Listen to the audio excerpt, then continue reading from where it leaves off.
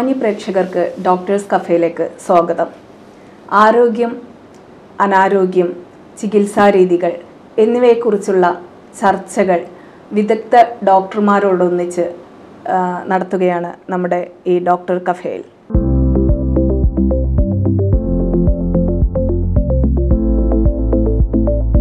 ഇന്ന് നമ്മോടൊപ്പമുള്ളത് വളാഞ്ചേരി നടക്കാവ് ഹോസ്പിറ്റലിലെ കൺസൾട്ടന്റ് ഫിസിഷ്യനും എം ഡിയുമായ ബൈജു ഡോക്ടറാണ് അദ്ദേഹത്തെ നമുക്ക് ഡോക്ടേഴ്സ് കഫേയിലേക്ക് സ്വാഗതം ചെയ്യാം.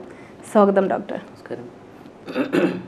ഇപ്പോൾ ഇന്ന് നമ്മുടെ മാറിയ കേരളത്തിൽ നിപ്പ വൈറസ് ഒരു വർഷം മുന്നേ നിപ്പ വൈറസ് എന്ന രോഗം കേരളത്തിൽ വന്നു. എല്ലാവരിലും ഒരു ഭീതി പടർത്തിയത്. അത് കഴിഞ്ഞ് കൃത്യം ഒരു വർഷം കഴിഞ്ഞേക്ക് വീണ്ടും നിപ്പ വന്നു. ഇപ്പോൾ നിപ്പയെക്കുറിച്ച് നിപ്പ വൈറസ് എന്ന ഒരു മൂവി ഇറങ്ങി അത് കാണാനിടയായി. അതിൽ എങ്ങനെയാണ് ആ രോഗത്തെ പ്രതിരോധിച്ചത് എന്നും കണ്ടു.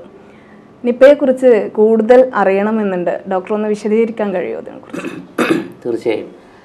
കഴിഞ്ഞ തവണ കോഴിക്കോട് പേരാമ്പ്ര ഭാഗത്ത് നിപ്പ വൈറസിന്റെ ഇൻഫെക്ഷൻ ഉണ്ടായതിന്റെ വളരെ ഡീറ്റെയിലിംഗ് ആയിട്ടുള്ളൊരു ഡിസ്ക്രിപ്ഷൻ ആയിരുന്നു അഷിക് കപൂറിന്റെ വൈറസ് എന്നുള്ള മൂവിയിൽ അവർ കാണിച്ചിരുന്നത്. സാധാരണ ആർക്കും മനസ്സിലാവുന്ന രീതിയിൽ നല്ല രീതിയിൽ തന്നെ ആ സിനിമ ഫുൾ കവർ ചെയ്യാൻ സാധിച്ചിട്ടുണ്ട്. ഈ വർഷം ഈ ഈ കഴിഞ്ഞ മാസം തന്നെ എറണാകുളത്ത് വടക്കം പറവൂരിലുള്ളൊരു വിദ്യാർത്ഥിക്ക് വീണ്ടും നിപ്പ എന്നുള്ള ഇൻഫെക്ഷൻ പിടിപെട്ടിരുന്നു. ഈ സിനിമ റിലീസ് ചെയ്യുന്നതിന് മുമ്പ് തന്നെ നിപ്പ അതുകൊണ്ട് മാധ്യമങ്ങളിൽ വാർത്ത നേരത്തെ സ്ഥാനം പിടിച്ചിരുന്നു. കഴിഞ്ഞ തവണ പേരാമ്പ്ര നിപ്പ ബാധിച്ച് രണ്ടുപേരാണ് ആകെ രക്ഷപ്പെട്ടത്. പതിനേഴോളം ആൾക്കാർ മരിച്ചിരുന്നു. ആ ഒരു അസുഖത്തിന്റെ തീവ്രതയും ഒരു ഭീകരതയും ആ ഒരു നമുക്കിപ്പോൾ ആദ്യമായിട്ടാണ് കേരളത്തിൽ ഒരു എക്സ്പോഷർ ഉണ്ടാകുന്നത് ആ ഒരു സംഭവത്തോടെ കേരളത്തിലുള്ള എല്ലാവർക്കും തന്നെ മനസ്സിലായി. ആ സമയത്ത് കോഴിക്കോട് ടൗൺ മെഡിക്കൽ കോളേജിന്റെ ഒക്കെ അവസ്ഥ സിനിമയിലൂടെ എല്ലാവരെയും നമ്മൾ കണ്ടു മനസ്സിലാക്കി അറിഞ്ഞു മനസ്സിലാക്കിയതാണ് ആളൊറ്റപ്പെട്ടൊരവസ്ഥ ഡബ്ല്യു എച്ച് പോലും അവരുടെ ഒരു എബോള പോലുള്ള അസുഖങ്ങളുടെ തീവ്രമായ അസുഖങ്ങളുടെ ഐസൊലേറ്റ് ചെയ്യപ്പെട്ട അസുഖങ്ങളുടെ കൂട്ടത്തിൽ ഉൾപ്പെടുത്തിയിരിക്കുന്ന അസുഖമാണ് നിപ്പ. ഇതിനു ഇതിന് മുമ്പ് നിപ്പ എന്നുള്ള അസുഖം റിപ്പോർട്ട് ചെയ്യപ്പെട്ടുള്ളത് മലേഷ്യയിലും ബംഗ്ലാദേശിലുമാണ്. അപ്പോൾ ബംഗാളിന്റെ ആ ഒരു പരിസരത്തും ഉണ്ടായിട്ടുണ്ട്. അവിടെ എല്ലാം ഉണ്ടായിരിക്കുന്നത് മുമ്പ് ഈ വവ്വാലിൽ നിന്ന് തന്നെയാണ്. അതായത് ഒരു സൈ ഒരു വരൾച്ചാക്കാലം അവിടെ ഉണ്ടാവുകയും അവിടുത്തെ കാടുകളിലുള്ള പക്ഷിമൃഗാദികൾ നാട്ടിലേക്ക് വരികയാണ് ചെയ്തത്. അപ്പോൾ അങ്ങനെ അവിടെ ഈ വവ്വാലുകൾ അടങ്ങുന്ന ഒരു ജന്തു സമൂഹം നാട്ടിലോട്ട് വരികയും അത് പിഗിലേക്ക് അതായത് പന്നികളിലേട്ട് പന്നികളിലോട്ട് വ്യാപിച്ചു. അതിനുശേഷം പന്നികൾ കൂട്ടത്തോടെ മരണപ്പെടാൻ തുടങ്ങി. ആ സമയത്ത് എന്തോ ഒരു അസുഖം പന്നിക്ക് ഇങ്ങനെ വന്നിട്ടുണ്ട്. കൂട്ടത്തോടെ മരണപ്പെടുമെന്ന് സർക്കാർ മനസ്സിലായോടെ പന്നികളെ മുഴുവൻ കൊന്നൊടുക്കാൻ തീരുമാനിച്ചു. ഏകദേശം ആറായിരം കോടി രൂപയുടെ പന്നിയുടെ ബിസിനസ്സാണ് ആ സമയത്ത് അവർ പന്നികളെ കൊന്നൊടുക്കുന്നത് നഷ്ടപ്പെട്ടത്. അതിനുശേഷം ഈ അസുഖം ജനങ്ങളിലേക്ക് എത്തിയപ്പോഴാണ് കാര്യങ്ങളുടെ കാര്യഗൗരവം ഇത്രത്തോളം പ്രശ്നമാണെന്ന് മനസ്സിലായത്. ആൾക്കാർ ചികിത്സ കിട്ടാതെ മരിക്കുന്നു. ആ സമയത്ത് ഇതിന്റെ ഈ ഇൻഫെക്ഷൻ ശരീരത്തിൽ ബാധിച്ചു കഴിയുമ്പോൾ ഈ ബാധിതരാകുന്ന ആൾക്കാർക്ക് പനി വരുന്നു. വളരെ പെട്ടെന്ന് ശ്വാസം മുട്ട് വരുന്നു. സ്വബോധം സ്ഥലകാലബോധമില്ലാത്ത പെരുമാറ്റങ്ങൾ ഉണ്ടാകുന്നു അങ്ങനെ അവരുടെ രക്തവും പിന്നെ തലച്ചോറിനുള്ള സെറിബ്രോസ്പാൻ ഫ്ലൂയിഡ് സ്റ്റഡി നടത്തിയതിലൂടെ കണ്ടുപിടിക്കപ്പെട്ട വൈറസാണ് നിപ്പ എന്നുള്ളത്. അന്ന് ഒരുപാട് ആൾക്കാർ അവിടെ മരിച്ചിരുന്നു. അപ്പോൾ ഈ അന്നത്തെ ഈ ഇതുവരെ റിപ്പോർട്ട് ചെയ്യപ്പെട്ടിട്ടുള്ള കേസുകളിൽ നിന്ന് മനസ്സിലാക്കാൻ സാധിച്ചത് ഫ്രൂട്ട് ഈറ്റിംഗ് ബാറ്റ്സ് വലിയ തരത്തിൽപ്പെട്ട വവ്വാലുകളോ പന്നികളിലോ ആണ് ഈ വൈറസ് കണ്ടെടുക്കാൻ സാധിച്ചിട്ടുള്ളൂ. എല്ലായിടത്തും തന്നെ ലോകത്തുണ്ടായതെല്ലാം വവ്വാലുകളും തന്നെയാണ്. പോസിബിളി നമ്മുടെ ഇവിടെയും വേറൊരു ഇറ്റിയോളജി വേറൊരു കാരണം കണ്ടുപിടിക്കാതിരിക്കുന്നതും പിന്നെ മരണപ്പെട്ട ആൾക്കാർക്ക് ഒവ്വാലുകളുമായിട്ടുള്ള കോണ്ടാക്ട് ഉണ്ടാവാനുള്ള സാധ്യതയൊക്കെ തിരിച്ചറിഞ്ഞത് മൂലവും അതിൽ നിന്ന് തന്നെയാണ് നമുക്ക് ഈ അസുഖം ആൾക്കാർക്ക് വന്നിട്ടുണ്ടാവാനുള്ള സാധ്യത. അത് സാധാരണ മൃഗങ്ങളിൽ നിന്ന് മൃഗങ്ങളിലോട്ടാണ് പടരാറ്. പക്ഷെ അത് മനുഷ്യരിലേക്ക് എത്തിയാൽ അതിപ്പോ നേരിട്ട് വവ്വാൽ കടിച്ച നേരത്തെ സിനിമയിലൊക്കെ കാണിക്കുന്ന പോലെ തന്നെ വവ്വാൽ കടിച്ച പഴവർഗങ്ങളോ അല്ലെങ്കിൽ വവ്വാലിന്റെ കാഷ്ടം കോണ്ടാക്ട് വന്നിട്ടുള്ള കള്ള് പോലുള്ള ദ്രാവകങ്ങളോ കുടിക്കുന്നതിലൂടെ ഈ ഈ അസുഖം ഈ വൈറസ് മനുഷ്യന്റെ ശരീരത്തിലെത്താം. ഇപ്പോൾ ഒരു ഫ്രൂട്ടിലാണ് ഒരു ബാറ്റ് കടിച്ചെങ്കിൽ ഒരു മൂന്ന് ദിവസം വരെ അതിനകത്തുള്ള ഷുഗറിന്റെ ഫ്രൂട്ടിലെ കണ്ടന്റ് മൂലം വൈറസിന് അവിടെ നിലനിൽക്കാൻ സാധിക്കും. ആ ദിവസത്തിനുള്ളിൽ ഒരു മനുഷ്യൻ അത് ഭക്ഷിക്കുകയാണെന്നുണ്ടെങ്കിൽ അയാളുടെ ശരീരത്തിൽ അത് എത്തപ്പെടാനുള്ള സാധ്യതയുണ്ട്. എത്തപ്പെട്ട് കഴിഞ്ഞാൽ ഇത് പലതരത്തിൽ വരാം. അക്യൂട്ട് ഡിസ്നി ആയിട്ട് നല്ല തലവേദനയും പനിക്കും പുറമെ പെട്ടെന്ന് ശ്വാസം മുട്ട് കൂടുകയും ശ്വാസം കിട്ടാതാവുന്ന അവസ്ഥ വരാം. ചിലപ്പോൾ സംസാരത്തിന് തകരാറ് വന്നിട്ട് ആൾ സ്വബോധമില്ലാതെ പെരുമാറാം. അങ്ങനെ വളരെ പെട്ടെന്ന് കേസുകൾ അഡ്മിറ്റ് ആവുകയും ആൾ വേഗം തന്നെ മരണപ്പെടുകയാണ് ചെയ്തത്. ഡോക്ടർ നമ്മളിപ്പോൾ വവ്വാലുകളിൽ നിന്നാണ് ഇത് വരുന്നത് എന്ന് പറഞ്ഞു. അപ്പോൾ ഇത് എത്രത്തോളം ശാസ്ത്രീയമാണ്? അതുപോലെ തന്നെ ഈ വവ്വാലുകളെ കൊന്നൊടുക്കുക എന്നത് പ്രായോഗികമാണോ? ഈ ഒരു രോഗപ്രതിരോധത്തിന്. ഈ വവ്വാലുകളിൽ നിന്നാണ് വന്നതെന്നുള്ള ഇതുവരെയുള്ള അസുഖങ്ങളുടെ ഒരു കിടപ്പനുസരിച്ചാണ് നമുക്ക് ആ എല്ലാ വവ്വാലുകളിലും അത് ഉണ്ടായിക്കൊള്ളണമെന്നില്ല ഈ പർട്ടിക്കുലർ വവ്വാൽ കടിച്ച ആ ഫ്രൂട്ട് ആ വവ്വാൽ ഏതാന്ന് കണ്ടുപിടിക്കാനോ കണ്ടു നമുക്ക് സെർച്ച് ചെയ്ത് കണ്ടുപിടിക്കാൻ പറ്റിക്കൊള്ളണമെന്നില്ല. ഈ മെയ് തൊട്ടിട്ട് ജൂൺ വരെയുള്ള മാസങ്ങളിൽ സോറി ഡിസംബർ തൊട്ടിട്ട് മെയ് വരെയുള്ള മാസങ്ങളിലാണ് വവ്വാലിന്റെ പ്രജനനം നടക്കുന്ന ആ സമയത്താണ് കൂടുതൽ വൈറസ് ഉണ്ടാവുന്നതും. അത് മറ്റുള്ള ഇപ്പൊ പഴങ്ങളിലോട്ടാണെങ്കിലും കാഷ്ടത്തിലാണെങ്കിലും കൂടുതൽ ഉണ്ടാകാനുള്ള സാധ്യത പടരാനുള്ളതും എല്ലാ തവണത്തെയും ഇൻഫെക്ഷൻ ഈ ടൈമിലാണ് ഉണ്ടാകുന്നത് അതുകൊണ്ട് എല്ലാ വവ്വാലുകളെയും അല്ലെങ്കിൽ വവ്വാലുകളെ കൊന്നുകൊടുക്കുക എന്നുള്ളത് നടക്കുന്ന കാര്യമല്ല? സ്വന്തം സുരക്ഷ. അതായത് ഇങ്ങനത്തെ ഈ സമയങ്ങളിൽ കള്ള് ആ ഇൻഫെക്റ്റഡ് വവ്വാലുകൾ കൂട്ടമായി താമസിക്കുന്ന ഭാഗത്ത് ഉണ്ടാകുന്ന കള്ളുകളോ അല്ലെങ്കിൽ വവ്വാൽ കഷ്ടി കടിച്ചതോ ഭക്ഷ്യതായിട്ടുള്ള പേരയ്ക്ക മാങ്ങ അങ്ങനത്തെ സാധനങ്ങൾ പഴ പഴവർഗങ്ങളോ കഴിക്കാതിരിക്കുക. പേഴ്സണൽ ഹൈജീൻ പുലർത്തുകയും ചെയ്യാം. ഇനി നിപ്പ എന്നുള്ള അസുഖം ഒരാൾക്ക് വന്നിട്ട് അയാളുമായിട്ട് നമ്മൾ കോണ്ടാക്ട് ചെയ്യുമ്പോഴാണ് ഇത് നമുക്ക് കിട്ടാൻ അതിനേക്കാൾ സാധ്യത കൂടുതൽ. ഹെൽത്ത് കെയർ പേഴ്സണലാണ് സാധ്യത. അപ്പൊ ഈ അസുഖമാണെന്ന് സംശയിച്ച് കണ്ടു കഴിഞ്ഞാൽ ആ സമയത്ത് തന്നെ ഫസ്റ്റ് ചെയ്തത് ഐസൊലേഷൻ ആണ്. അപ്പോൾ നമുക്ക് ഈ രോഗിയായിട്ട് അയാളുടെ ഡ്രോപ്ലെറ്റ് ഇൻഫെക്ഷൻ ആണ്.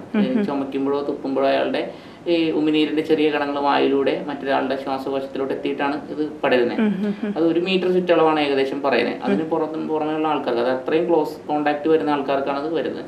അപ്പോൾ ചുമക്കും തുമ്മുമ്പോഴൊക്കെ നമ്മൾ മുഖവും വായും ടവൽ വെച്ചിട്ട് കുത്തിപ്പിടിക്കുകയോ അല്ലെങ്കിൽ രോഗിയായിട്ട് പരമാവധി കോണ്ടാക്ട് ഒഴിവാക്കുകയാണ് ഇതിനകത്ത് ചെയ്യാൻ ആ സമയത്തും അങ്ങനെ തന്നെയാണ് ഗവൺമെന്റ് അച്ചീവ് ചെയ്തിട്ടുള്ളത്. എന്താണ് പ്രാഥമിക ലക്ഷണങ്ങളായിട്ട് കാണാറ് സാധാരണ നിപ്പ ഒക്കെ വന്നിട്ടുള്ളത് ഇതിനകത്ത് നമ്മൾ നിപ്പയാണെന്ന് ഇപ്പോൾ സംശയിക്കാനുണ്ടായ സാഹചര്യം. കോഴിക്കോട് വെച്ചിട്ടാണെങ്കിൽ ആദ്യത്തെ രണ്ട് ഡെത്ത് കഴിയുമ്പോഴാണ് നിപ്പയാണെന്ന് സംശയം വരുന്നതും അത് വളരെ പെട്ടെന്നാണ് നമ്മളിവിടെ കണ്ടുപിടിക്കാൻ സാധിച്ചത്. അതിനുശേഷം പിന്നെ ഇപ്പൊ നമ്മൾ അതുമായിട്ട് കോണ്ടാക്ട് ആണ് മെയിൻ. പിന്നെ പനി വന്നിട്ട് പനിയുടെ ഒരു സിവിയറിറ്റി നമുക്കിപ്പോൾ പലതരത്തിലുള്ള ഈ തലച്ചോറിനെ ബാധിക്കുന്ന പനികളുണ്ട്. പല Japanese encephalitis West Nile encephalitis അങ്ങനെ പല എൻകെഫലൈറ്റിസ് ഉണ്ട്. ഇതെല്ലാം പനി വന്ന് രണ്ട് ദിവസം മൂന്ന് ദിവസം കഴിയുമ്പോൾ തന്നെ രോഗിക്ക് ഈ സ്വബോധമില്ലാതെ വരിക വളരെ പെട്ടെന്ന് സിവിയർ ആവുക. ശ്വാസം മുട്ട് വല്ലാതെ കൂടുക. നമുക്ക് സാധാരണ ഒരു ഡെങ്കിയോ എലിപ്പനിയോ ഒന്നും വന്നാൽ അത്രയും പെട്ടെന്നൊന്നും ആൾ മോശമാവില്ല. ഇത് വന്നു തുടങ്ങിയ ഒന്നോ രണ്ടോ ഇൻഫെക്ഷൻ കിട്ടിയ അഞ്ചു തൊട്ടിട്ട് പതിനാല് ദിവസം വരെയാണ് ഇൻക്യുബേഷൻ പീരീഡ് പറയുന്നത് അതായത് അസുഖമുള്ള ഒരാളായിട്ട് കോണ്ടാക്ട് ചെയ്ത് കഴിഞ്ഞാൽ അഞ്ച് ദിവസത്തിനുള്ളിൽ തൊട്ട് പതിനാല് ദിവസം വരെ നമുക്ക് അസുഖം നമ്മുടെ മാനിഫെസ്റ്റ് ചെയ്യാൻ സമയമെടുക്കാം. ചിലപ്പോൾ ഒരുപക്ഷെ പതിനാലാമത്തെ ദിവസമായിരിക്കാം ഇൻഫെക്ഷൻ പുറത്തോട്ട് വരുന്നത്. അപ്പൊ അത്രയും ദിവസത്തിന് വന്നു കഴിഞ്ഞാൽ ഇത് പെട്ടെന്ന് സിവിയർ ആവാനുള്ള സാധ്യതയാണുള്ളത് കോണ്ടാക്ട് ആണ് ഇതിനകത്ത് മെയിൻ അല്ലെങ്കിൽ ഈ മറ്റ് ഈ എക്സ്പോഷർ ടു ബാറ്റ്സ് വവ്വാലായിട്ടുള്ള കാര്യങ്ങൾ കഴിച്ചതായിട്ടുള്ള ബന്ധപ്പെട്ടാണ് സംശയിക്കുന്നത്. പിന്നെ അസുഖത്തിന്റെ ഒരു വരുന്ന രീതി അനുസരിച്ചിട്ട്. അപ്പോൾ ഈ കോണ്ടാക്ട് എന്ന് പറയുമ്പോൾ രോഗികളെ പരിചരിക്കേണ്ട അവസ്ഥ വരുമല്ലോ. അപ്പോൾ എന്തെല്ലാം കാര്യങ്ങളാണ് നമ്മൾ ശ്രദ്ധിക്കേണ്ടത് ഈ നിപ്പയൊക്കെ സസ്പെക്ട് ചെയ്ത് കഴിഞ്ഞാൽ പേഷ്യന്റ് ഫുൾ ക്ലിയർ ആവുന്നവരെ ഹോസ്പിറ്റലൈസേഷൻ വാർഡിൽ കിടത്തുകയാണ് ചെയ്യുക കൂടെ രോഗികളുടെ കൂട്ടിരിപ്പുകാരെ ഒന്നും ആരും അനുവദിക്കില്ല. ഈവൻ ചികിത്സിക്കുന്ന നഴ്സുമാരാണെങ്കിൽ പോലും fully N ninety five mask അങ്ങനത്തെ തീരെ ഒരു ഡ്രോപ്ലെറ്റിന് ഒരു മൈക്രോ നമ്മുടെ വൈറസിന് അങ്ങനെ എന്റർ ചെയ്യാൻ പറ്റാൻ ചെയ്യാൻ പറ്റാത്തത്ര പോലും ചെറിയ ദ്വാരങ്ങളുള്ള മാസ്കുകളും ഉപയോഗിച്ചിട്ടാണ് നല്ല കയ്യുറകൾ ധരിച്ചിട്ടാണ് ചെയ്യുക. ഡ്രോപ്ലെറ്റ് ഇൻഫെക്ഷൻ ആയതുകൊണ്ട് ആ ഒരു പിന്നെ അല്ലെങ്കിൽ അവരുടെ ബ്ലഡോ യൂറിനോ അങ്ങനെ സി എസ് എഫ് ഫ്ലൂയിഡോ എന്തെങ്കിലുമൊക്കെ കോണ്ടാക്ട് വരണം. അത് അത്ര എളുപ്പത്തിലില്ലാത്തതുകൊണ്ട് ചുമയ്ക്കുമ്പോൾ വരാതിരിക്കാൻ വേണ്ടിയിട്ടാണ് മാസ്ക് കോണ്ടാക്ട് മാസ്ക് ധരിക്കുന്നത്. പിന്നെ ഇപ്പോൾ വന്നിട്ട് നമ്മുടെ ഈ ജാഗ്രത വേണമെന്നാണ് എല്ലാ മീഡിയകളും എല്ലാം പറയുന്നത് നിപ്പ വരുന്ന സമയത്ത്. അത് ഈ ജാഗ്രത എന്ന് ഉദ്ദേശിക്കുന്നത് പനി നമ്മൾ വരുന്നതിന് തടയാണോ? അതോ ഒരാളിൽ നിന്ന് ഇപ്പോൾ കോണ്ടാക്ട് വഴി വരുന്നത് തടയാണോ? എങ്ങനെയാണ് അത് ഉദ്ദേശിക്കുന്നത്? പനി ഇപ്പോൾ നമുക്ക് നിപ്പയാണ് എന്ന് വരാനുള്ള നേരത്തെ പറഞ്ഞ പോലെ പഴവർഗങ്ങൾ. ആ ഒരു ഈ ടൈമിലുള്ള വവ്വാൽ അധികമായിട്ട് താമസ നിലനിൽക്കുന്ന സ്ഥലങ്ങളിലുള്ള പഴങ്ങളോ അല്ലെങ്കിൽ അവരുടെ കള്ളോ അല്ലെങ്കിൽ അസുഖം സംശയിക്കുന്ന ആൾക്കാരായിട്ടുള്ള കോണ്ടാക്ട് നേരത്തെ പറഞ്ഞ പേഴ്സണൽ ഹൈജീൻ അസുഖമുള്ള ആൾ മറച്ചു പിടിച്ച് ചുമക്കുക. ആണെങ്കിൽ സംശയം അങ്ങനെ എന്തുണ്ടെങ്കിലും ഈ പെട്ടെന്ന് തന്നെ സിക്കാവുന്നതുകൊണ്ട് ഹോസ്പിറ്റൽ അഡ്മിഷൻ വേണ്ടി വരും. രണ്ടാമത്തെ വട്ടം വന്നുകൊണ്ട് ഇനിയിപ്പോ നമ്മൾ കുറച്ചുകൂടെ ജാഗ്ര ജാഗ്രത ഉണ്ടാവും എല്ലാ കാര്യങ്ങളിലും. ഈ രണ്ടാമത്തെ രോഗിക്കും ഇപ്പോൾ നല്ലൊരു കണ്ടീഷനാണ് ഭേദമായിട്ട് വരുന്നതെന്നാണ് പറയുന്നത്. എങ്കിലും അയാളുടെ കോണ്ടാക്റ്റുകളെല്ലാം ട്രേസ് ചെയ്ത് ആൾക്കും അസുഖമൊന്നും ഇല്ല എന്നുള്ളത് അറിയാൻ സാധിച്ചത്. അപ്പോൾ ഈ സമയത്ത് പേഴ്സണൽ ഹൈജീനും ഈ ഭക്ഷണത്തിലും ഇങ്ങനത്തെ കാര്യങ്ങളും സോപ്പ് വെച്ച് കൈ കഴുകുക അതൊക്കെ ഇതിനെ അത് എന്തുകൊണ്ടാണ് അങ്ങനെ പറയുന്നത്? സോപ്പ് ഉപയോഗിക്കുമ്പോൾ ഏഹ് സാന്നിധ്യം നമ്മുടെ ശരീരത്തിലുണ്ടെങ്കിലും അകത്ത് കയറാൻ എന്തെങ്കിലും മുറിവുകൾ അല്ലെങ്കിൽ വായിലൂടെ മൂക്കിലൂടെ കയറാൻ നന്നായിട്ട് പേഴ്സണലായിട്ട് ഹൈജീൻ കീപ്പ് ചെയ്യുകയാണെന്നുണ്ടെങ്കിൽ ഈ സാധ്യത വളരെ കുറവാണ് അത് ശരി. ഈ സാംക്രമിക രോഗങ്ങൾ എന്ന് വെച്ചാൽ എന്താണ് ഉദ്ദേശിക്കുന്നത്? നമുക്കിപ്പോ ഈ വേറൊരാളിൽ നിന്ന് പകർന്നു വരുന്ന ഒരു അസുഖങ്ങളാണ് നമുക്ക് സാംക്രമിക രോഗങ്ങൾ. ത്രൂ വെക്ടർ എന്തെങ്കിലും വൈറസോ ബാക്ടീരിയോ ഏതെങ്കിലും കൊതുകിലൂടെയോ അങ്ങനെയൊക്കെ വരുന്ന അസുഖങ്ങളാണ് നമ്മൾ സാംക്രമിക രോഗം. പകരുന്ന രോഗങ്ങളെന്ന് ഉദ്ദേശിക്കുന്നത്. നമുക്ക് ഈ മഴക്കാലത്ത് ഇപ്പോൾ സ്വാഭാവികമായിട്ടും കോമൺ ആയിട്ട് കാണുന്നതാണ്. അപ്പോൾ പനി വന്നു കഴിയുമ്പോൾ ഇപ്പോൾ പനി എന്നുള്ളത് നമ്മുടെ ശരീരത്തിന്റെ ഊഷ്മാവ് കൂടുന്ന കൂടുന്നൊരവസ്ഥയാണ് അത് രാവിലെയും വൈകുന്നേരവും ഒരു തൊണ്ണൂറ്റെട്ട് പോയിന്റ് ആറ് അങ്ങനെ ഡിഗ്രി പറയുന്നുണ്ട്. അതിനനുസരിച്ച് മുകളിൽ വരുന്ന അവസ്ഥയാണ് പനി എന്ന് പറയുന്നത്. ഈ പനി തന്നെ നമുക്കിപ്പോൾ പല രീതിയിലുണ്ടാവാം. ഇപ്പോൾ എന്തെങ്കിലും ഇൻഫെക്ഷൻ വന്നിട്ട് വരാം. അതിപ്പോൾ ബാക്ടീരിയ വൈറസ് ഫംഗസ് അങ്ങനെ എന്തെങ്കിലും ഇൻഫെക്ഷൻ വന്നിട്ട് വരാം. അതല്ല ഇൻഫ്ലമേറ്ററി കോസ് അതായത് നമ്മൾ കാലിപ്പോൾ എവിടെയെങ്കിലും തട്ടുകയാണ്.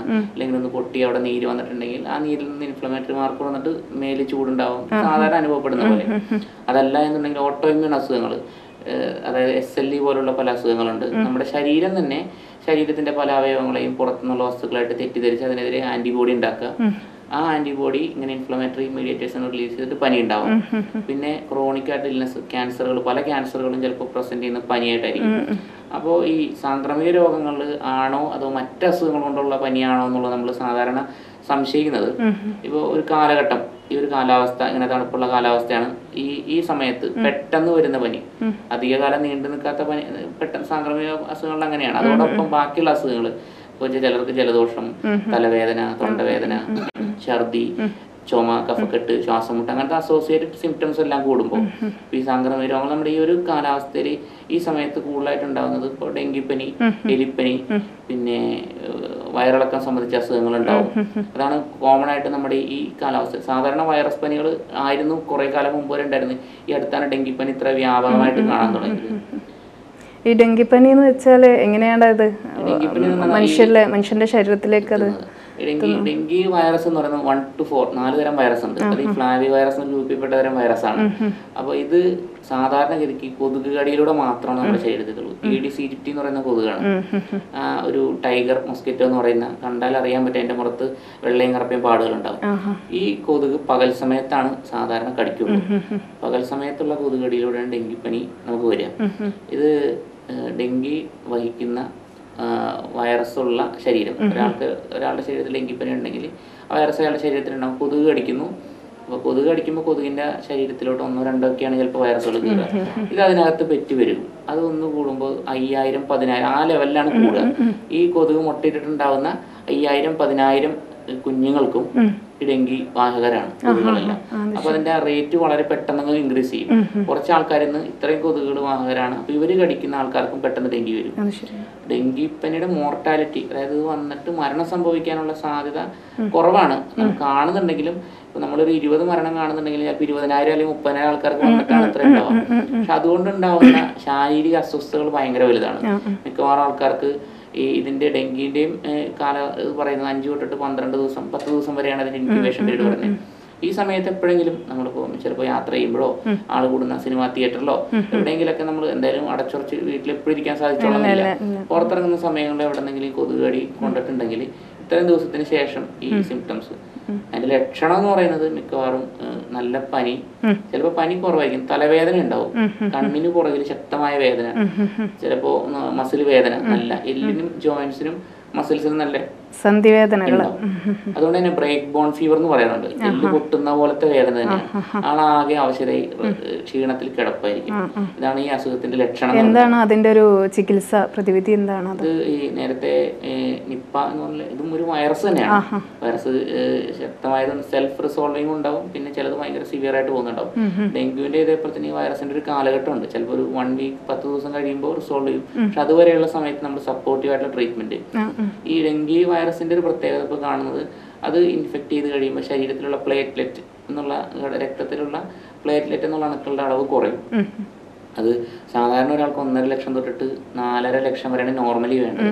ഇത് വന്നു കഴിയുമ്പോൾ ഇൻഫെക്റ്റ് ചെയ്ത് കഴിയുമ്പോൾ അത് കുറഞ്ഞ് ഒരു ലക്ഷം എൺപതിനായിരം. പ്രധാനമായിട്ട് ഈ പ്ലേറ്റ്ലെറ്റിന്റെ കർത്തവ്യം എന്താ വെച്ച് കഴിഞ്ഞാൽ രക്തം കട്ട പിടിക്കാൻ സഹായിക്കുക എന്നുള്ളതാണ്. അതായത് മുറിവ് എന്തെങ്കിലും ഉണ്ടെങ്കിൽ രക്തം പോകുന്നുണ്ടെങ്കിൽ അത് പ്ലേറ്റ്ലെറ്റ് വന്ന് അടിഞ്ഞു കൂടിയിട്ടാണ് അവിടെ ക്ലോട്ട് ആവുന്നത് അപ്പോൾ ഇത് വന്നു കഴിയുമ്പോൾ ഇൻഫെക്ഷൻ ഉണ്ടായി കഴിയുമ്പോൾ പ്ലേറ്റ്ലെറ്റുകൾ കുറഞ്ഞ് ക്രമാ ക്രമാതീതമായി കുറയും. ചിലപ്പോൾ അമ്പതിനായിരം ഇരുപതിനായിരം പതിനായിരം അയ്യായിരം അങ്ങനെയൊക്കെ വരും.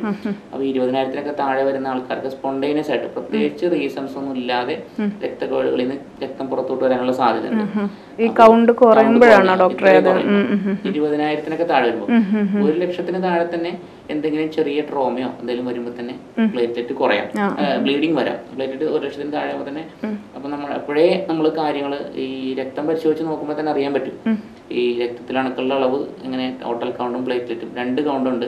ഈ ഡബ്ല്യു ബി സി കൗണ്ടും പ്ലേറ്റ് അത് രണ്ടും കുറയും ഈ ഡെങ്കിപ്പനി ആണെന്നുണ്ടെങ്കിൽ അത് ഒരു പക്ഷേ ഫസ്റ്റ് ഡേയ്സ് ആയിരിക്കില്ല. മൂന്ന് ദിവസം നാല് ദിവസം കഴിയുമ്പോഴാണ് കൗണ്ട് കുറഞ്ഞു തുടങ്ങുക. മിക്കവാറും പനി ഒന്ന് കുറഞ്ഞിട്ടാണ് കൗണ്ട് കുറയുക. അതിന്റെ ഒരു വ്യത്യാസമാണ് നമ്മൾ മൂന്ന് ദിവസം കഴിയുമ്പോഴേക്കും പനി നാല് ദിവസം പനിന്ന് ബെറ്റർ ആവും. പിന്നെ അങ്ങ് പ്ലേറ്റ് കൗണ്ട് കുറയും. കുറഞ്ഞു കുറഞ്ഞ് ഒരു പരിധിക്കപ്പുറം കുറഞ്ഞാൽ ബ്ലീഡിങ് വരാനുള്ള സാധ്യത കൂടുതലാണ്. അപ്പോൾ ബ്ലീഡിങ് വരാൻ സാധ്യത ഉണ്ടെങ്കിൽ നമ്മൾ അതിനനുസരിച്ച് രക്തത്തിൽ നിന്ന് പ്ലേറ്റ്ലെറ്റ് വേർതിരിച്ചിട്ടുള്ള ഘടകം ട്രാൻസ്യൂസ് ചെയ്യാണ് ചെയ്യുക പക്ഷെ ഈ കയറ്റുന്ന സാധനങ്ങൾക്കെല്ലാം ആറു മണിക്കൂർ ഒരു ദിവസമൊക്കെ മാക്സിമം അതിന് കാലാവധി ശരീരത്തിൽ നിൽക്കുള്ളൂ. അത് കഴിയുമ്പോൾ താനേ അത് നശിച്ചു പോകും. ഉം. അപ്പോൾ ഈ പീരിയഡിൽ ഈ ഡെങ്കിപ്പനി റിസോൾവ് ചെയ്യുന്ന സമയത്ത് പ്ലേറ്റ്ലെറ്റ് ഭയങ്കര കുറവാണ്. ചെറിയ ബ്ലീഡിങ്ങിന്റെ ബ്ലീഡിംഗ് എന്ന് പറഞ്ഞാൽ ചിലപ്പോൾ മൂക്കിൽ നിന്ന് രക്തം വരികയോ മോണയിൽ നിന്ന് വരികയോ ചുമച്ചെടുക്കുമ്പോഴോ മൂത്രത്തിലോ മലത്തിലോ ഇനി മേലെവിടെയും ചുവന്ന പാടുകളോ അങ്ങനെ എന്തെങ്കിലുമോ ഏത് തരത്തിലാണെങ്കിലും ബ്ലീഡിങ്ങിന്റെ മാനിഫെസ്റ്റേഷൻ കണ്ടു കഴിഞ്ഞ് പ്ലേറ്റ്ലെറ്റ് കുറവാണെന്ന് കണ്ടു കഴിഞ്ഞാൽ പ്ലേറ്റ്ലെറ്റ് കയറ്റും. ശരീരം സ്വന്തമായിട്ട് ഇതിൽ നിന്ന് റിക്കവർ ചെയ്യുന്ന സമയമുണ്ട്. ആ സമയത്ത് ബോഡിയിൽ നിന്ന് ഉണ്ടാവുന്ന പ്ലേറ്റ്ലെറ്റുകൾക്കാണ് കുറച്ച് ദൈർഘ്യം കൂടുതൽ നിലനിൽക്കുള്ളൂ. അത് റെഗുലറായിട്ട് ഉണ്ടാവുന്നതനുസരിച്ച് ഇമ്പ്രൂവ് ചെയ്യും. അപ്പൊ അങ്ങനെ പ്ലേറ്റ്ലെറ്റ് കുറഞ്ഞിട്ടുള്ള ഒരു കോംപ്ലിക്കേഷൻ ഒന്നാമത് രണ്ടാമത് വേറൊരു കാണുന്നത് ഈ രക്തക്കോഴുകളിൽ നിന്ന് ഈ പ്ലാസ്മ എന്ന് പറയുന്ന രക്തത്തിന്റെ വെള്ളം പോലുള്ള ഭാഗം അരിഞ്ഞിറങ്ങി പുറത്തു പോകുക എന്നുള്ളതാണ് അങ്ങനെ വരുമ്പോൾ നമുക്ക് അത് എവിടെയാണോ വരുന്നത്? ശ്വാസകോശത്തിന് ചുറ്റും വരാം ഹാർട്ടിൽ വരാം മേലൊക്കെ വരാം അപ്പൊ നീര് പോലെ വരാം. ഈ ശ്വാസകോശത്തിന് പുറത്ത് വന്നു കഴിയുമ്പോൾ വെള്ളം കെട്ടി നിന്നിട്ട് ആൾക്ക് ശ്വാസം മുട്ട് വരാം. അങ്ങനെ ഒരു അവസ്ഥയിലോട്ട് പോയിട്ടുണ്ടെങ്കിൽ കണ്ടീഷൻ അത് ഡെങ്കു ആളുടെ ബി പി കുറയും. അങ്ങനെ സംഭവിച്ചാൽ ഡെങ്കു ഹെമറാജിക് ഷോക്കിലോട്ട് പോകും ഷോക്കിൽ പോയാൽ അങ്ങനെയുള്ള ആൾക്കാരെ ഈ ഡെത്തിലോട്ട് പോകുന്ന അങ്ങനെയാണ് സാധാരണ അങ്ങനെയുള്ള ആൾക്കാർക്ക് നമ്മൾ കൂടുതൽ ഗ്ലൂക്കോസ് കയറ്റും കയറ്റേണ്ടി വരും ബി പി മെയിന്റെയിൻ ചെയ്യാൻ. ബാക്കി മരുന്നുകൾ കൊടുക്കേണ്ടി വരും. ചിലപ്പോൾ അതിനൊന്നുള്ള സമയം കിട്ടുന്നതിന് മുമ്പ് റെസ്പോണ്ട് ചെയ്യുന്നതിന് മുമ്പ് ഡെങ്കി വന്നാൽ എന്തായാലും ഡോക്ടർ അത് ഹോസ്പിറ്റലൈസ് ചെയ്യേണ്ടി വരും അല്ലേ ആ പേഷ്യന്റിന് അതായത് പല കേസുകൾക്കും ചിലപ്പോൾ സപ്പോർട്ടീവ് ട്രീറ്റ്മെന്റ് മതി. പക്ഷേ ഏത് കേസുകൾക്കാണ് അത് വേണ്ടത് എന്നുള്ള കാര്യം നമുക്ക് സ്വന്തമായിട്ട് ഡിസൈഡ് ചെയ്യാൻ പറ്റില്ല. എന്തായാലും നമ്മൾ ഹോസ്പിറ്റലിൽ ബി പി റെഗുലർ ആയിട്ട് നോക്കേണ്ടി വരും. പ്രഷർ കുറഞ്ഞു പോവുക. അത് ഡെങ്കു വന്നിട്ട് നേരിട്ട് ഹാർട്ടിനെ ഡെങ്കു മയോകാർഡൈറ്റിസ് എന്നൊരു ഇൻഫെക്ഷന്റെ ഒരു ഭാഗമാണ്. ഹാർട്ടിന്റെ മസിൽസിനെ വീങ്ങിയിട്ട് പമ്പിങ് കുറയാം. അങ്ങനെ കുറഞ്ഞു കഴിഞ്ഞിട്ടുണ്ടെങ്കിൽ പ്രഷർ കുറഞ്ഞിട്ട് ബാക്കിയുള്ള അവയവങ്ങൾക്ക് തകരാറ് വരാം. അതൊരു സാധ്യത. പിന്നെ ഇങ്ങനെ രക്തക്കൊഴിയിൽ നിന്ന് രക്തം അരിച്ചിറങ്ങി പുറത്തു പോയിട്ടുള്ള ബി പി കുറയാം. അങ്ങനെ മേജർ ഓർഗൻസിന് തകരാറ് വരാം. പ്ലേറ്റ്ലെറ്റ് കുറയാം. അങ്ങനെ ഈ കോംപ്ലിക്കേഷൻസ് ഒന്നും ഇല്ല എന്നുള്ളത് അസുഖം കഴിഞ്ഞിട്ട് ബാക്കോട്ട് നോക്കുമ്പോൾ നമുക്ക് പറയാൻ പറ്റുള്ളൂ. ഇത് കുഴപ്പമില്ലാത്തൊരു അസുഖമായിരുന്നു. അസുഖം വന്ന് ഇന്നൊരാൾക്ക് വരുമ്പോൾ ഒരുപക്ഷെ ചിലപ്പോൾ പ്രായമുള്ളവർക്കോ ഡയബറ്റിസ് ഉള്ളവർക്കോ കോമോർബിഡ് ബാക്കി അസുഖങ്ങളുള്ള ആൾക്കാർക്കോ വരുന്ന പോലെ ആയിരിക്കില്ല. ഒരു ഇരുപത്തഞ്ച് വയസ്സുള്ള യങ് ആയിട്ട് വേറെ അസുഖങ്ങളൊന്നും ഇല്ലാത്ത ഒരാൾക്ക് വരുന്നത്. അത് അത് പക്ഷെ അസുഖത്തിൽ നിന്ന് ബെറ്റർ ആയി കഴിഞ്ഞിട്ട് മാത്രമേ നമുക്ക് പറയാൻ പറ്റുള്ളൂ. നേരെ തിരിച്ച് സംഭവിക്കാം. യങ് ആയിട്ടുള്ള ഈ ഡെങ്കുവിന്റെ പല ഇൻഫെക്ഷന്റെ ഫീച്ചേഴ്സും കാണുന്ന അങ്ങനെയാണ്. യങ് ആയിട്ട് അത് വീട്ടിൽ ഒരു കുഴപ്പമില്ലാതെ നല്ല ദിവസം തലേ ദിവസം വരെ പണിക്ക് പോയിക്കൊണ്ടിരുന്ന ആളായിരിക്കും. അയാൾക്കായിരിക്കും അസുഖം വന്നിട്ട് രണ്ട് ദിവസം അല്ലെങ്കിൽ മൂന്ന് ദിവസം കഴിയുമ്പോൾ കണ്ടീഷൻ പെട്ടെന്ന് വേഴ്സൺ ചെയ്ത് വൈറൽ ഇൻഫെക്ഷന്റെ ഒരു ഫീച്ചറാണ് സാധാരണ അസുഖം മൂർച്ഛിച്ച് കിട്ടുന്ന പോലെ ഉണ്ടാവില്ല. പെട്ടെന്ന് ബാഡായി ആൾ മരണപ്പെടണം. മുമ്പ് രണ്ട് മൂന്ന് വർഷങ്ങൾക്ക് മുമ്പൊക്കെ കോട്ടയത്തൊക്കെ ഉണ്ടായിരുന്ന സമയത്തൊക്കെ ഇങ്ങനെ ഉണ്ടായിരുന്നു. അസുഖം ആയിട്ട് ആൾക്കാർ വരുന്ന സ്വന്തമായിട്ട് നടന്ന് ഒ പി ടിക്കറ്റ് എടുത്ത് ഡോക്ടർ ഒ പിയിൽ വന്ന് കാണിക്കുന്ന കുഴപ്പമില്ല. സ്വന്തമായിട്ട് കടയിൽ പോയി കാര്യങ്ങൾ കഴിക്കുന്നു. രണ്ട് ദിവസം കഴിയുമ്പോൾ ആൾ ബി പി കുറയുന്നു. അപ്പോഴും ബി പി കുറയുമ്പോഴും ചെറിയ സിംറ്റംസ് ഉണ്ടായിക്കൊള്ളുന്നുള്ളൂ. വളരെ പെട്ടെന്ന് മണിക്കൂറുകൾക്കുള്ളിൽ ആൾ മോശമാവുകയും പിന്നെ മരണത്തിന് നമുക്ക് ചെയ്യാവുന്നതിന്റെ മാക്സിമം അത്രേ ഉള്ളൂ. പ്രത്യേകിച്ച് ആന്റിബയോട്ടിക് ഒന്നും കൊടുത്ത് വൈറസ് ഇൻഫെക്ഷൻ ആണ് അതിന് ആക്റ്റീവ് അല്ല. സപ്പോർട്ടീവ് ട്രീറ്റ്മെന്റ് ആണ്. അത് ഡെങ്കുവിന്റെ നാല് തരം വൈറസ് ഉണ്ട്. വൺ ടു ത്രീ ഫോർ അപ്പോൾ നമ്മളതിന് ഡെങ്കു ആണെന്ന് കൺഫേം ചെയ്യാൻ വേണ്ടിയിട്ട് അതിന്റെ സീറോളജിക്കൽ ടെസ്റ്റുകൾ ഐ ജി എം ഡെങ്കു അങ്ങനെ ചെയ്യാറുണ്ട്. ഡെങ്കു എൻ എസ് എന്നൊക്കെ ഉള്ളത്. അത് ഒരുപക്ഷെ ഈ ടെസ്റ്റ് നെഗറ്റീവ് ആണെങ്കിലും ബാക്കി ടോട്ടൽ കൗണ്ടും ടെസ്റ്റിന് ഇപ്പോൾ എല്ലാ വൈറസിനെതിരെയുള്ള ആന്റിബോഡി വെച്ച് ചെയ്യലില്ല. രണ്ടെണ്ണേ ഉള്ളൂ. അപ്പോൾ ഈ ബാക്കിയുള്ള ആളുടെ ജന സിംറ്റംസും ടോട്ടൽ കൗണ്ട് പ്ലേറ്റ്ലെറ്റിന്റെ കുറവും ഒക്കെ വെച്ച് നോക്കി ക്ലിനിക്കിലാണ് ഡെങ്കു ആണെന്ന് ടെസ്റ്റ് നെഗറ്റീവ് ആണെങ്കിൽ പോലും ബാക്കി ഫീച്ചറുകൾ ഉണ്ടെങ്കിൽ ഡെങ്കു പോലെ തന്നെയാണ് ചികിത്സിക്കുക. അപ്പോൾ ഇങ്ങനെയുള്ള ആൾക്കാർക്ക് നമുക്ക് ആരാണത് കുഴപ്പമുള്ളതില്ല എന്ന് പറയാൻ പറ്റാത്തതുകൊണ്ട് ഹോസ്പിറ്റലിൽ നിന്ന് ട്രീറ്റ്മെന്റ് എടുത്തിട്ട് ചിലപ്പോൾ കുഴപ്പമില്ലാന്ന് കണ്ടാൽ വീട്ടിൽ പോയി വന്ന് കൗണ്ട് നോക്കാൻ പറ്റുന്ന ആൾക്കാരുണ്ടാവും. ആളുടെ കണ്ടീഷൻ നോക്കിയിട്ട് മാത്രമേ നമുക്ക് പറയാൻ പറ്റുള്ളൂ. ജസ്റ്റ് സ്വന്തമായിട്ട് ഇപ്പോൾ സാധാരണ നമ്മൾ പനി വരുമ്പോൾ ഒരു പാരസെറ്റാമോൾ കഴിക്കും. ഓക്കെ പക്ഷെ മാറിയില്ല എന്നുണ്ടെങ്കിൽ നമ്മൾ ചെന്ന് കാണിക്കും. ശക്തമായ തലവേദനയും കണ്ണിന്റെ പുറകിലുള്ള വേദനയും ഒട്ടുമിക്ക രോഗികളെയും ഈ പനി വരുമ്പോൾ ആശുപത്രിയിൽ ഏതെങ്കിലും ഒരു ഡോക്ടറെ കൊണ്ട് കാണിക്കാൻ നിർബന്ധിതരാക്കാറുണ്ട്. സാധാരണ റിക്കവർ ആവാൻ എത്ര സമയം എടുക്കും ഇത്? ഈ ഒരു ഒരാഴ്ച രണ്ടാഴ്ച കഴിയുമ്പോഴേക്കും ഇതിന്റെ ഈ ഡെങ്കുവിന്റെ കൗണ്ടൊക്കെ നോർമൽ ആവുകയും ആളുടെ ശരീരം പഴയ പോലെ ഒന്ന് ആക്റ്റീവായിട്ട് വരണമെങ്കിൽ മിക്കവാറും വൺ മന്ത് ഒക്കെ എടുക്കാറുണ്ട്. ആ ഒരു ക്ഷീണവും കുറച്ച് ജോലി ചെയ്യുമ്പോൾ തന്നെ ആളങ്ങ് കുഴഞ്ഞു പോവുക. ആ ഒരു പഴയ അവസ്ഥയിലോട്ട് ഒരു മാസം ഒന്നര മാസം വരെയൊക്കെ പലരും എടുക്കാറുണ്ട്. ഈ ഡെങ്കിപ്പനിയുടെ അതേ സിംറ്റം ആണോ എലിപ്പനിക്കും വരുന്നത്? അല്ല എലിപ്പനിക്ക് ഇത് രണ്ടും രണ്ട് തരത്തിലാണ് വരിക. ഇപ്പോ ഡെങ്കു വരുന്നത് ഞാൻ പറഞ്ഞ കൊതുകിന്റെ വഴിയാണ്. നമുക്ക് പ്രിവെന്റ് ചെയ്യാൻ കുറച്ച് വഴിയുണ്ട്. അതായത് പുറത്ത് പോകുന്ന ആൾക്കാർ നമ്മൾ കൊതുക് കടിക്കാതിരിക്കാനാണ് ഈ ഒഡോമോസ് പോലുള്ള ക്രീമുകൾ വരയ്ക്കുക റിപ്പലൻസ് വീട്ടിലാണെങ്കിൽ നമ്മൾ നെറ്റ് ഉപയോഗിക്കുക. അല്ലെങ്കിൽ മൊസ്കിറ്റോ കില്ലിംഗ് ആയിട്ടുള്ള മറ്റേ മെഷീൻസോ അങ്ങനത്തെ കാര്യങ്ങൾ ഉപയോഗിച്ച് ചെയ്യാം. കൊതുക് നിവാരണം ശുദ്ധജലത്തിൽ മാത്രം വളരുള്ളൂ ഈ കൊതുക്. ശുദ്ധജലം കെട്ടി നിൽക്കാനുള്ള ചിരട്ട പ്ലാസ്റ്റിക് ടയർ അങ്ങനത്തെ സാധനങ്ങളൊക്കെ വെള്ളം കെട്ടി നിൽക്കാൻ സാധ്യതകളെല്ലാം ഈവൻ ഫ്രിഡ്ജിന്റെ പുറകിലുള്ള പാത്രത്തിൽ വരെ വെള്ളം നിൽക്കുന്നിടത്തെല്ലാം കമഴ്ത്തി കളഞ്ഞാൽ മഴക്കാല പൂർവ ശുചീകരണത്തിന്റെ ഭാഗമായിട്ട് മിക്കവാറും സ്ഥലങ്ങളെല്ലാം ചെയ്യുന്നുണ്ട്. അങ്ങനെ റബ്ബർ ടാപ്പിന്റെ റബ്ബറിന്റെ ശേഖരിക്കുന്ന ചിരട്ടകൾ അങ്ങനെയുള്ള സാധനങ്ങൾ കൊതുക് വളരാൻ സാഹചര്യം അനുവദിച്ചില്ലെങ്കിൽ ഡെങ്കു നമുക്ക് ഒരു പരിധി വരെ തടയാൻ പറ്റും. അതിപ്പോ ഈവൻ വെള്ളം കെട്ടി നിൽക്കുന്നുണ്ടെങ്കിൽ ഈ മണ്ണെണ്ണ പോലുള്ള സാധനം ഒഴിച്ചാൽ പോലും ഫിലിമായിട്ട് കെട്ടി നിൽക്കുന്നതുകൊണ്ട് അത് സാധിക്കും. എന്നാൽ എലിപ്പനി എലിപ്പനിയുടെ ഒരു വൈറസ് അല്ല അതൊരു സ്പൈറോക്കീറ്റ് ആണ് ലെപ്റ്റോസ്പൈറ എന്നുള്ളൊരു വേറെ തരം ബാക്ടീരിയം വൈറസ് അല്ലാത്തൊരു ഓർഗാനിസം അതിന്റെ എങ്ങനെ വെച്ചാൽ അത് വാഹകരില്ല. കൊതുകൊന്നുമില്ല നമ്മൾ നമ്മുടെ പേഴ്സണൽ ശ്രദ്ധയാണ്.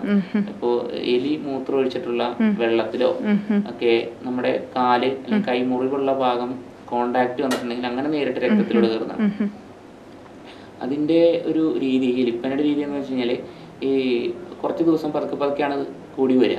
ഇതേപോലെ ഹാർട്ടിനെ ബാധിക്കാം. പിന്നെ ശ്വാസകോശത്തെ ബാധിക്കാം. വൃക്കയെ ബാധിക്കാം. വൃക്കയെ ബാധിക്കാനായിട്ട് ഭയങ്കര സാധ്യതയാണ് എലിപ്പനി വരുന്നത്. പതുക്കെ പതുക്കെ കൂടി വരികയും ആളുടെ ലിവറിനും വൃക്കയ്ക്കും പിന്നെ ശ്വാസകോശത്തിനും ഹാർട്ടിനൊക്കെ പരമ ഓരോരോ അവയവങ്ങൾ ഇങ്ങനെ ബാധിച്ച് ബാധിച്ച് മൊത്തത്തിലാണെങ്കിൽ നമുക്ക് നോക്കി നിൽക്കുന്ന സമയത്ത് മരുന്ന് കൊടുത്താലും ചിലപ്പോൾ അതിനോട് പ്രതികരിക്കാതെ പതുക്കെ പതുക്കെ പതുക്കെ പതുക്കെ ആൾ മോശമായിട്ട് മരണപ്പെടുകയാണ് ഇത് ചെയ്യുക. എന്നാൽ തന്നെ ഒരു ഒരു പരിധി വരെ ഏർലി സ്റ്റേജുകളിൽ ചെറിയ മുറിവൊക്കെ ഉള്ളൂ.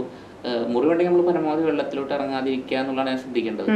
ആദ്യം തന്നെ ട്രീറ്റ് എടു ട്രീറ്റ്മെന്റ് എടുക്കുകയാണെന്നുണ്ടെങ്കിൽ നമുക്ക് ചെറിയ ഗുളിക കൊണ്ടോ ചെറിയ ഒരു കോഴ്സ് ഓഫ് ഫൈവ് ആന്റിബയോട്ടിക്സ് കൊണ്ടോ ഒക്കെ ഇമ്പ്രൂവ് ചെയ്യാം. ഇതിന്റെ ലേറ്റർ സ്റ്റേജിൽ കഴിഞ്ഞ് ഒരു പരിധിക്കപ്പുറം കടക്കുമ്പോഴാണ് ഞാൻ ഈ പറഞ്ഞ എല്ലാ അവയവങ്ങളെയും ബാധിച്ച് മൾട്ടി ഓർഗൻ ഡിസ്ഫങ്ഷൻ എന്നുള്ള അവസ്ഥയിലോട്ട് എത്തിയിട്ട് ആൾ മോശപ്പെടുന്നത്. ശരി പിന്നെ ഈ കോളറ പോലുള്ള അസുഖങ്ങൾ നമ്മുടെ നാട്ടിൽ നിന്ന് പോയതായിരുന്നു. ഇപ്പൊ അത് തിരിച്ചു വന്ന് പല ഭാഗങ്ങളിലായിട്ട് കേൾക്കുന്നുണ്ട്. എന്താണ് അതിനെ കുറിച്ച് ഡോക്ടർ പറയുന്നത്? നമ്മുടെ ഇവിടെ കുറ്റിപ്പുറത്താണ് ഇപ്പൊ ഏഹ്, കഴിഞ്ഞതിനും കഴിഞ്ഞതിന് മുമ്പത്തെ വർഷം കഴിഞ്ഞ വർഷം കോളർ ഉണ്ടായി കോഴിക്കോട് മെഡിക്കൽ കോളേജിൽ വെച്ച് മരി മരണപ്പെടുകയൊക്കെ ചെയ്തു. സാധാരണ നമ്മുടെ ഇവിടെ ഈ മഴക്കാലത്ത് ഉണ്ടാകുന്ന ഒരു വയറിളക്കം. വയറിളക്കം ഇപ്പൊ വേനലിന്റെ വെള്ള ലഭ്യത കുറവുണ്ടാകുമ്പോഴും ഉണ്ടാവും. വെള്ളം ഈ ബാക്കിയുള്ള കണ്ടാമിനേറ്റഡ് ഭാഗങ്ങളായിട്ട് വെള്ളം കൂടി കലർന്നിട്ടുണ്ടാവും. ഈ കൊളൈഷിജല്ല അല്ലെങ്കിൽ കോളർ കോളറ ബാക്ടീരിയകളൊക്കെ വന്നിട്ടാണ് ഈ വയറിളക്കം ഉണ്ടാകുന്നത് കോളറയിലാണെങ്കിൽ ഒരുപാട് വെള്ളം നഷ്ടപ്പെടും ശരീരത്തിൽ നിന്ന്. ഈ മലമായിട്ട് കോണ്ടാക്ട് ചെയ്തിട്ടുള്ള വെള്ളം എവിടെയെങ്കിലും ഇപ്പോ നമ്മൾ എന്തെങ്കിലും കല്യാണങ്ങൾക്കോ വേറെ ഫംഗ്ഷനൊക്കെ പോകുമ്പോൾ ഒഴിവാക്കാനാവാത്ത സാഹചര്യങ്ങളിൽ നമ്മൾ സ്വന്തമായിട്ട് വെള്ളം തിളപ്പിച്ച് കുടിക്കുക എന്നുള്ളത് പ്രായോഗികമല്ല. അപ്പൊ അങ്ങനെയുള്ള സാഹചര്യങ്ങളിൽ ഇങ്ങനത്തെ ബാക്ടീരിയ വൈറസോ ഒക്കെ ശരീരത്തിൽ എന്റർ ചെയ്യുകയാണെന്നുണ്ടെങ്കിൽ വയറ്റിന്ന് ജലാംശം ഒരുപാട് നഷ്ടപ്പെടും. നല്ല ലവണങ്ങൾ സോഡിയം പൊട്ടാസ്യം ക്ലോറൈഡ് കാൽഷ്യം അങ്ങനെയുള്ള ലവണങ്ങൾ നഷ്ടപ്പെടും. പ്രഷർ കുറയും. നമ്മൾ എത്രത്തോളം പകരം മരുന്ന് കൊടുത്താലും അതിന് റിയാക്ട് ചെയ്യാൻ പറ്റാതെ വരും. ഈ ഒരു സാഹചര്യങ്ങളിൽ അതിസാരം അല്ലെങ്കിൽ വയറിളക്കം എന്ന് പറയുന്നത്. അതിനകത്ത് ചോര വന്നു കഴിഞ്ഞാൽ ഡിസെൻട്രി എന്ന് പറയും. ഈ ഈ രണ്ട് തരത്തിലുള്ള സംഭവങ്ങളും ചെറിയ കുട്ടികളാണ് ഏറ്റവും പ്രധാനമായിട്ടും ഇത് ബാധിക്കുക. അവർക്ക് ഫ്ലൂയിഡിന്റെ ലെവൽ അത്രത്തോളം പിടിച്ചു നിൽക്കാൻ പറ്റിക്കൊള്ളുന്നില്ല. നല്ല പ്രായവരെ യങ് ആയിട്ടുള്ള ആൾക്കാരെ ഒരു പക്ഷേ അവരൊരുമാതിരി ഒ ആർ എസിന്റെ ലായനി കുടിക്കുന്നത് മൂലം. ഒ ആർ എസ് ആണ് ഇതിന്റെ മെയിൻ ട്രീറ്റ്മെന്റ് സംഭവം കാണുമ്പോൾ ചെറുതായിട്ട് തോന്നുമെങ്കിലും കാണുമ്പോൾ കണ്ണി പിടിക്കാത്ത വരില്ലാത്ത തോന്നുമെങ്കിലും വലിയൊരു ആന്റിബയോട്ടിക്കിനേക്കാളും ഇമ്പോർട്ടൻസ് ആണ് ഒ ആർ എസിന് ഐ വി ഫ്ലൂയിഡ് കയറ്റുന്നതിനേക്കാൾ പോലും ഒരുപാട് ഇമ്പോർട്ടന്റ് ആയിട്ടുള്ള ഒരു കാര്യമാണ് ഈ ഒ ആർ എസിന്റെ ഒരു പാക്കറ്റിനകത്ത് ആവശ്യത്തിന് എല്ലാം സോഡിയം പൊട്ടാസ്യം ഒക്കെ ഉള്ള സാധനമാണ്. കലക്കി കുടിക്കുന്നത് അതിന്റെ റീപ്ലനിഷ് ചെയ്യുന്നതോടെ ശരീരം പഴയ പോലെ കറക്റ്റ് ആയിട്ട് വരാറുണ്ട്. അത് ഈ വയറിളക്കത്തിന്റെ കാര്യത്തിലും പേഴ്സണൽ ഹൈജീൻ തന്നെയാണ്. എപ്പോഴും വൃത്തിയോടെ വെള്ളമാണെങ്കിലും ചൂടോടെ ചൂടാറാതെ തന്നെ കുടിക്കുക. അത് ഒന്നോ രണ്ടോ മൂന്നോ മിനിറ്റ് വെട്ടി തിളക്കുന്ന പോലെ വെച്ചതിന് ശേഷം ചൂടാറി കുടിക്കുക. കൈയും കാലും സോപ്പിട്ട് കഴുകുക. അവനവന്റെ പുറത്തുനിന്നുള്ള ആഹാരങ്ങൾ പരമാവധി പറ്റാത്ത സാഹചര്യങ്ങളില്ലാത്തപ്പോഴൊക്കെ കയ്യിൽ കുടിവെള്ളം കയ്യിൽ വെച്ച് കുടിക്കുക എന്നുള്ളതാണ് തടയാനുള്ള കാര്യം. സ്കൂളിൽ പോകുന്ന കുട്ടികൾക്കും ഒക്കെ ചൂടുവെള്ളം കൊടുക്കുന്നതായിരിക്കും ഏറ്റവും നല്ലത് ഇപ്പം. ഇപ്പോൾ നമ്മളിപ്പോൾ ഡോക്ടർ പറഞ്ഞു കോളറയുടെ കാര്യം പറഞ്ഞപ്പോൾ ഇങ്ങനെ അഴുക്ക് വെള്ളങ്ങളൊക്കെ പറഞ്ഞു. താരതമ്യേന ഇന്ത്യൻ സംസ്ഥാനങ്ങളിൽ കേരളമാണ് ശുചിത്വത്തിനും അതുപോലെ ആരോഗ്യ മേഖല വിദ്യാഭ്യാസ മേഖല ഇതിനൊക്കെ മുന്നിട്ട് നിൽക്കുന്നത്. പക്ഷേ എന്തെങ്കിലും പകർച്ചവ്യാധികൾ ഇങ്ങനെയുള്ള അസുഖങ്ങളൊക്കെ വരുമ്പോൾ അതിലും മുന്നിലായിട്ട് കേരളം ഉണ്ട്. അതിനൊരു കാരണം എന്തായിരിക്കും? നമ്മുടെ ഇവിടുത്തെ പോപ്പുലേഷൻ ഡെൻസിറ്റി ആയിരിക്കും അതിനകത്ത് കാരണം. കൂടുതൽ അവയർനെസ് എന്നുള്ളത് നമ്മൾ കാര്യങ്ങൾ കൂടുതൽ റിപ്പോർട്ട് ചെയ്യപ്പെടാറുണ്ട്. അത് ഇവിടെ വരുന്ന അസുഖങ്ങളൊക്കെ. അണ്ടർ റിപ്പോർട്ടിംഗ് ആയിരിക്കാം ഒരുപക്ഷെ മറ്റു സ്ഥലങ്ങളിൽ ഇപ്പോൾ അസുഖങ്ങൾ വന്ന് ആശുപത്രിയിൽ പോയി ആൾ റിപ്പോർട്ട് ചെയ്യപ്പെട്ടാലാണ് കാര്യങ്ങൾ പുറത്തു വരുള്ളൂ. നമ്മളിപ്പോൾ മിക്കവാറും ആൾക്കാർ ഇപ്പോൾ എവിടെ അടുത്താണെങ്കിലും എന്താണെങ്കിലും കോസ് എന്താണെന്ന് കണ്ടുപിടിക്കാറുണ്ട്. ട്രീറ്റ്മെന്റ് കൊടുക്കാറുണ്ട്. പിന്നെ വൃത്തി ഉണ്ട്. പേഴ്സണൽ ഹൈജീൻ ആൾക്കാർ അത്ര മോശമൊന്നുമല്ല. അല്ല പബ്ലിക് ഇടങ്ങളിലുള്ള ഈ കണ്ടാമിനേഷൻ വാട്ടർ അതൊക്കെ ശ്രദ്ധിക്കേണ്ട കാര്യങ്ങളാണ്. നമ്മുടെ ആ വീടും പരിസരവും മാത്രമല്ല പബ്ലിക് സ്പേസസ് നമ്മൾ കുറെ കൂടെ വൃത്തിയായിട്ട് ക്ലീൻ ആയിട്ട് സൂക്ഷിക്കേണ്ട അത്യാവശ്യമാണ്. അത് എല്ലാവരുടെയും കൂടെയാണ്. ഒരാളുടെ അല്ലെങ്കിലും അതിൽ നിന്നാണ് ഇപ്പൊ നമ്മളിപ്പോ വളാഞ്ചേരിയിൽ എനിക്ക് തോന്നുന്നു വേസ്റ്റ് ഡിസ്പോസലൊക്കെ കറക്റ്റ് ആക്കിയിട്ടുണ്ട്. അതിന്റെ റിഫ്ലക്ഷൻ അടുത്ത ഈ ഈ സീസണിൽ ഉണ്ടാവും നമുക്ക് കേസുകൾ കുറയേണ്ടതാണ് സാധാരണഗതിക്ക് അതേപോലെ എല്ലാ ഈ സമൂഹത്തിലുള്ള ബാക്കിയുള്ള കാര്യങ്ങളും നമ്മുടേതും കൂടാണെന്ന് വിചാരിച്ചാൽ പെട്ടെന്ന് കാര്യങ്ങൾക്ക് ഒരു മാറ്റം ഉണ്ടാവും. നിപ്പയെക്കുറിച്ചും അതുപോലെ മഴക്കാല രോഗങ്ങളെക്കുറിച്ചും ഡോക്ടർ ഒരുപാട് നമ്മളോട് സംസാരിച്ചു. എല്ലാ വിശദ വിവരങ്ങൾക്കും ഡോക്ടർക്ക് നന്ദി സ്നേഹം.